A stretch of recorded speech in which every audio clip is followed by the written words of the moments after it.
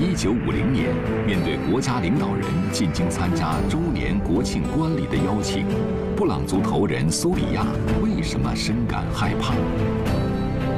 布朗族如何加入祖国的大家庭，开始了跟党走的步伐？七十年的发展与变迁，怎样让他们坚信脚下的道路？敬请关注《国家记忆》。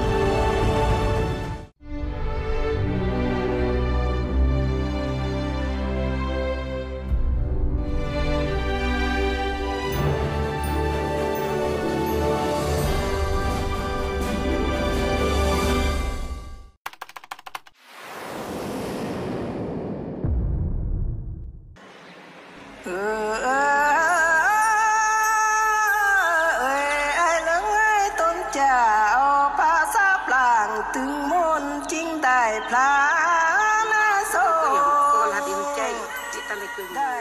里是云南省景迈山芒景村布朗族村寨。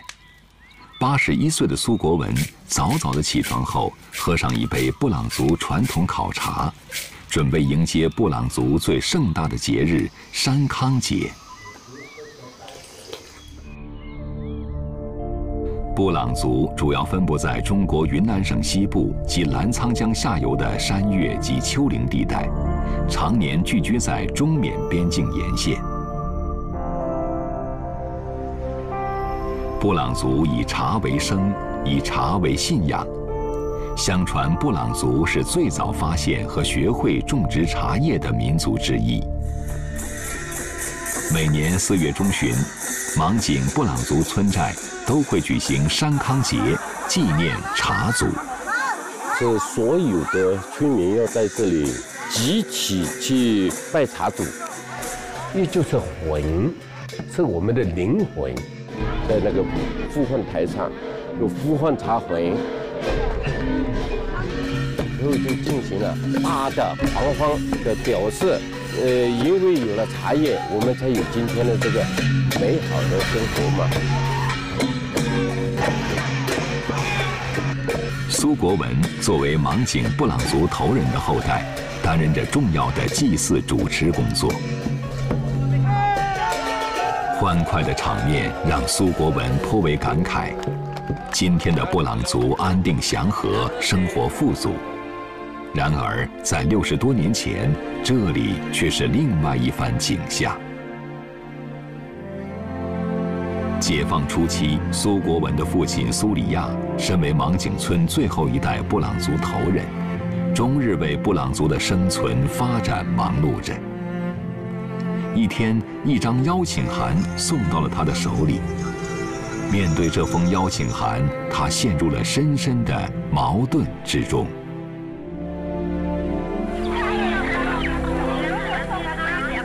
新中国刚成立时，远在西南边疆的很多少数民族并不了解新中国。由于长期遭受历代统治阶级的压迫剥削。让他们对新中国充满戒备和疑虑。外部的势力还像是厉害，呃，然后内部的国民党那些残渣都在活动，虽然在老百姓的当中还不知道到底我们要跟跟谁走啊。左脚是境外，右脚是中国。此刻，布朗族的选择决定着未来的命运。一九五零年十月一日，新中国成立后的第一个国庆节，中共中央决定邀请全国少数民族代表到北京观礼，亲身感受中国大地上发生的翻天覆地的变化。苏国文的父亲，芒景布朗族头人苏里亚。正是受邀者之一。这些头人不敢去，包括我父亲也不敢去，呃，不去回不来啊，或者是人质把他扣留下怎么办？呃还不知道这个共产党到底干的是什么事情，不知道。面对种种困难，澜沧县委专门成立了动员民族代表进京观礼的工作组。周运南当时是景外乡的乡文书兼武装干事，他在自己的回忆录里详细记载了当时的情形。苏里亚是布朗族头人，因为不识汉文，胆子又小，硬是不肯答应出席。先是九月，区里派很多干部前来劝说，起初还是不同意。后来我说。你能获得当一名代表是一件了不起的事，你不识汉字也不要怕，毛主席会教导我们爱护我们，尤其是我们少数民族。他为了做通我们母亲的工作，专门搬到我家，他还住了一个多月。我母亲也给他说了很多话了，就是说，如果你你把他带走了，以后不回来，你怎么办？嗯，都订了合同了。说了很多，最后才才去的。在工作组反复细致的思想工作中，苏里亚终于放下负担，准备去北京观礼。这个以茶为生，也以茶为最高礼节的民族，按照贡茶的礼仪，向新中国献上了民族的赤诚之意。是那个老秤，两斤九两。这个两斤九两都有含义的，啊，两斤是双数，就是各民族大团结的意思。九，一个是四九年建国，还有一个是永远、永永久、永久的跟党走。一九五零年九月三十日，历经二十多天的舟车劳顿，苏里亚和来自全国的少数民族代表来到北京。受到了空前热烈的欢迎。在周恩来总理的安排下，各地少数民族参观团和只在画像里见过的新中国领袖毛泽东面对面地站在了一起。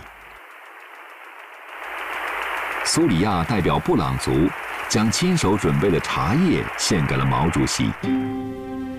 眼前的这个布袋，就是苏里亚当年杯茶献给毛主席的布袋，上面清晰地写着：“内装千百只手摘的春茶，送给我们敬爱的毛主席。”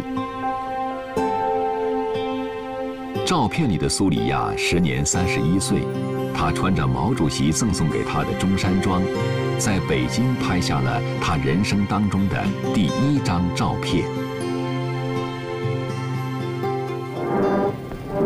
一九五零年十月一日这天，苏里亚和其他少数民族代表与国家领导人一起观看了盛大的阅兵仪式。对于第一次走出芒景山的布朗族年轻头人苏里亚来说，不仅仅从威武的三军仪仗看到了新中国的强大，更在现代文明中感受到了强烈震撼。父亲回来的时候，开那个民族团结大会，他就是把他上北京，看到毛主席，看到很多部队，呃，看到祖国的发展，做一个传达。但是有三句话我至今难忘，这三句话就是：只要我们跟共产党走，总有一天。那个公路会挖到我们这个山寨来啊！只要我们跟共产党走啊，总有一天我们可以用神牛来犁田犁地啊。第三句话他说：只要我们跟共产党走啊，总有一天我们会过上一个白天黑夜都一样光明的社会。从祖国心脏传达来的许诺和愿景，让远在中国西南的布朗族人民充满了改变的信心和勇气。二十世纪五十年代的布朗族还处于原始社会末期，生产方式落后，也没有出现阶级分化。云南省委省政府根据新中国的民族政策，成立工作队。一点点摸索着怎样帮助各少数民族建立组织、发展生产。像这个布朗啊、景颇啊这样一些民族地区，在五二年的这个调查报告当中就提到了，我们应该在这些地区采取团结进步、发展生产，呃，直接过渡到社会主义。与芒景山相距一百多公里的云南省勐海县布朗山，是中国布朗族人口聚居最多的地方。一九五四年，受中共西双版纳傣族自治州边疆工作委员会的指派，二十六岁的施宜西经过两天的跋涉，到达布朗山。他的主要任务就是协助部队建立区政府，更重要的是团结布朗族群众，发展生产。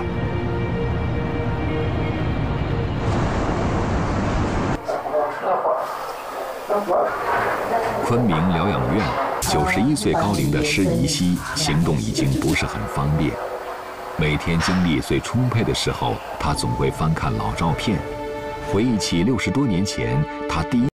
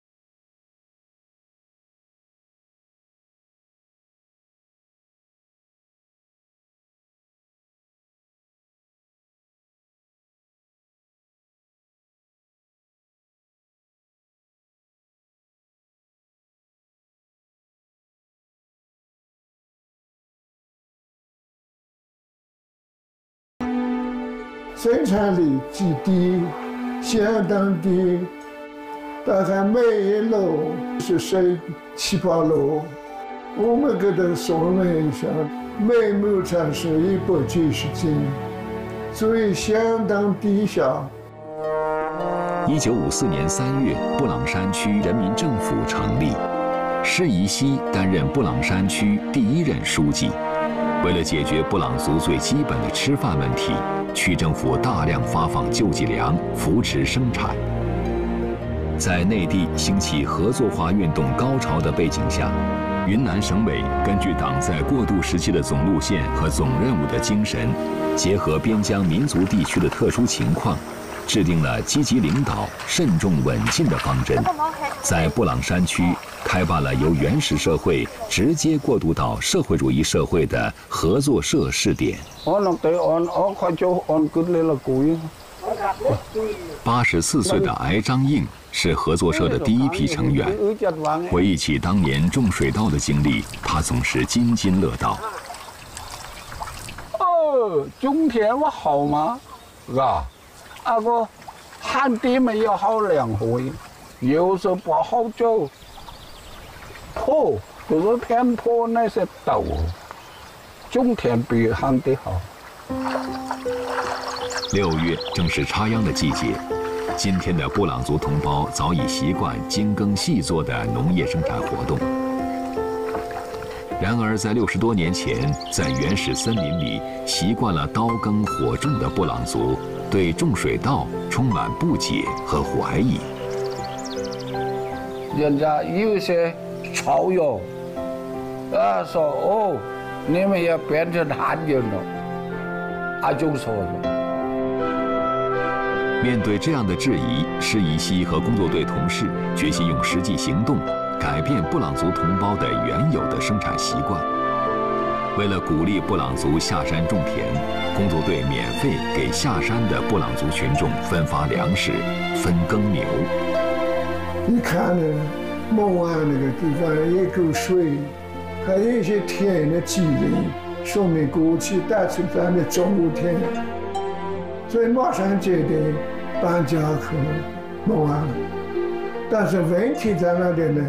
福州这本身是穷人，没得吃的，所以就要山区改造费买成粮食，房子都没，等样的包下来了。那时候我们刚上来，我才十九岁吧。那个时候我嘛，我爸爸嘛，我阿婆嘛，我兄弟嘛两个，叫我们犁田，叫我们摘杨，粮食是用马帮拖来过嘛。利用布朗山下傣族人原有的水田，施宜西和工作队同事很快开展起工作。一九五六年五月，由十五户人家组成的布朗山第一个合作社，取名为“嘎枪响昂合作社”，意思是合作社要像钢铁般坚硬有力量。我把这想到说真的，起不了。施宜西仍然保存着六十多年前全体社员在猛昂坝上留下的一张珍贵合影。根本不会理，连天更不会说。工作组十多个人，会理会对里对吧？等于是社员一部分，干部一部分，第三年劳动。一个合作社四十多人，才是六户人的，那个工作员啊，二十五个。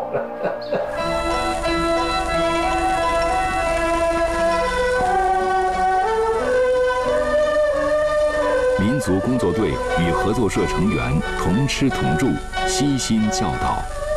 一年的时间，布朗族很快就学会了种植水稻。在合作社的带领下，第一年就开田三十一亩，收入翻了两番。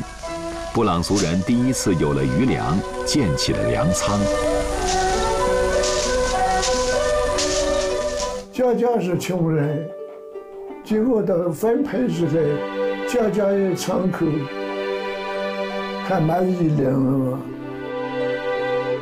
这张拍摄于1957年的照片，社员伊坚柳满怀喜悦，这是他第一次有了余粮，背着卖给国家。这事儿要是放在两年以前，他想都不敢想，因为那时候的他还常常吃不饱肚子，为找不到粮食而发愁。水稻种植的成功，不仅让布朗族同胞吃饱了饭。更重要的是，打破了他们固执己见的原始生活观念，亲身体会了先进的生产方式能够改变贫困的生活。在布朗山区政府的带领下，布朗山建成了第一所学校、第一家卫生所，修了公路，建了集市。人们再也不用翻山越岭，走百里山路去交换物品。布朗山的面貌开始慢慢发生改变。走合作化道路，就是发展经济、发展文化，提高他们的这个生产力水平和文化素质。从五十年代这个民族改革的这个过程来讲，中国共产党值得非常重视的一个经验，就是这段时间搞的政策是非常恰当的。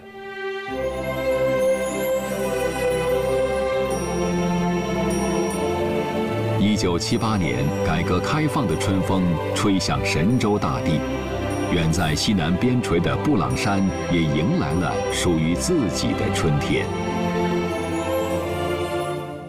张家三队位于海拔一千一百米的布朗山上，令人震惊的是，这个不过一百多户的布朗族村寨，却拥有着七千多亩的茶叶种植面积。老百姓更是靠着茶叶过上了富裕的生活。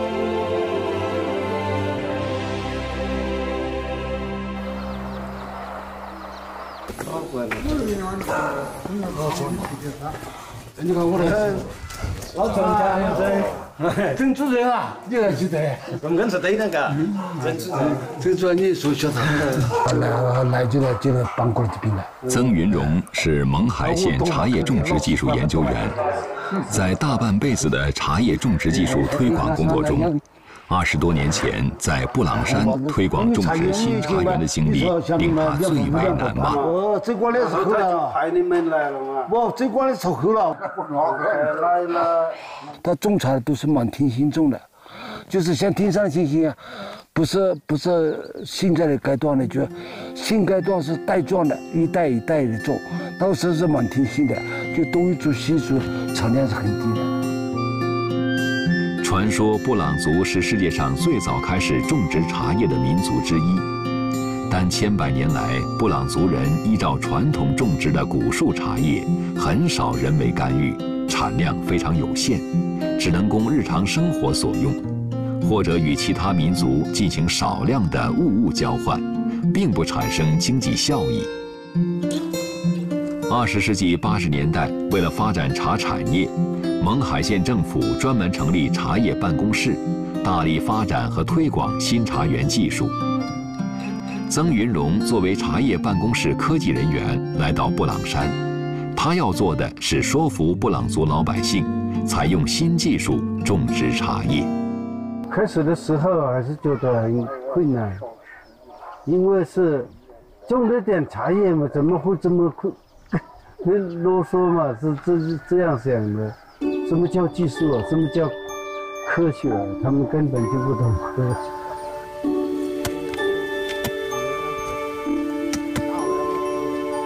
育苗、挖沟、换土、栽培，当年曾云荣要推广的新茶园种植，就像这样，有一整套规范的技术和田间管理流程。习惯古树茶自生自长的布朗族同胞，第一次知道，这样种茶叶。可以使产量成倍增加。就这里到这里是五十公分，把这个土挖到这这么多深度，五十公分深度，然后这这里这个土一米高的这个土呢，标土呢就挖到埋到底上去。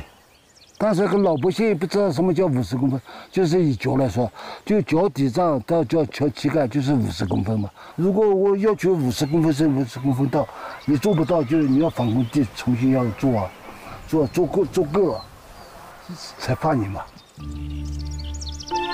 以前那个买茶叶了嘛，买茶叶一天慢慢投了几了一样。张家三队老队长艾洛南是村里第一批学会科学种茶的代表之一。那一年，他一家七口人就种了二十亩新茶。靠着新种的茶叶，老队长在上世纪八十年代就盖起了大瓦房，购买了拖拉机、电视机。近几年，随着茶叶收入的稳定提高。老队长一家还盖起了楼房，日子越过越滋润。快要到达我们的安保区，房产发生被保持后现在超过二百五十毫米的特大报。新茶园种植技术的推广，大大提高了茶叶产量，张家三队的面貌也因此发生了改变。如今，茶叶已经成为布朗族人最主要的收入来源。这个只有一百多户的布朗族村寨，因为推广新茶园的政策，富裕起来。我感动很大，因为将近二十多年没有来了，还来到一个村子，面貌是改变了。你看，整个村子草房看不到一间了，全部是瓦房化了。后来一到看那个来到山上，山上这茶叶我都想不到。有那么多面积，种了几千多亩，平均每户四十多亩，这很不了不起的事情。因为茶叶带来的经济效益，让布朗山有足够的资金发展各项建设事业。漂亮的教学楼，现代化的基础设施，给布朗族的孩子们带去希望。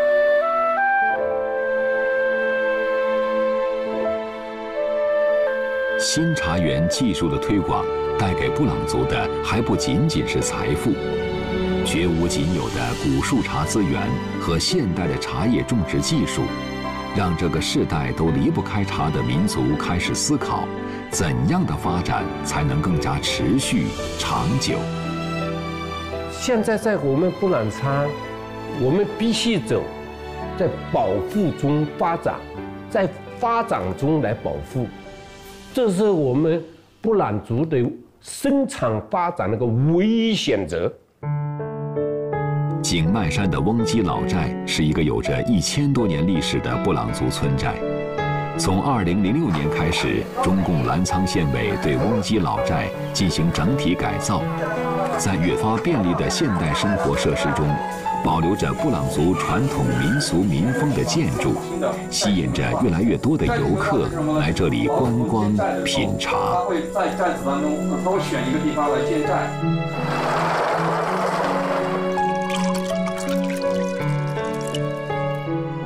呃，就是我父亲，呃，在五零年时候给老百姓说的那个东西已经变成现实。老百姓现在住的房子都是漂亮的民族木楼，呃，楼上楼下电灯、电话、电视、电器，每家都有。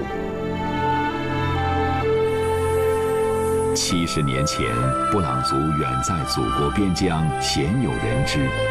虽然有祖先留下的茶树，却依然吃不饱饭，停留在生产力水平低下的原始社会末期。今天的布朗族以独特的茶文化享誉海内外，享受着现代生活的同时，保持着民族特色。七十年的变迁，让布朗族群众的获得感、幸福感、安全感前所未有。他们更坚定了脚下在走的路。